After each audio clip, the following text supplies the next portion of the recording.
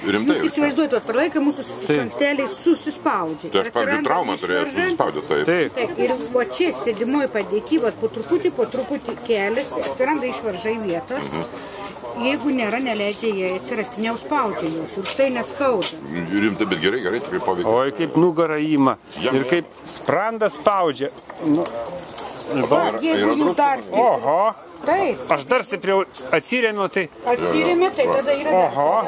Oho. ne, stipriai gali beveik kad pasmaugė jau mane. beveik. Oi, Ir geras. Ale jėgos turi kiek. turi na jėgos. turi. Oho, nieko Na, savo. pas masažistę pusę septynių vakare ir ką? O čia nors ir pusę dviejų nakties grįžti. Gali sau pasidaryti. Jūs pardavinėjate tokią kėdę. Ne kėdė, ne kėdė. Mes čia pardavinėjame, kur yra kėdės, ten 80 ar 12 tūkstančių. O, siaubas. Tai yra įranga, į automobilį. Gali įsidėti kur nori. Gali darbę prisitaisyti. O po kam kainuoja toks daiktas? 1300 tik tai. Jo. Nu nieko. Nuolaida dar.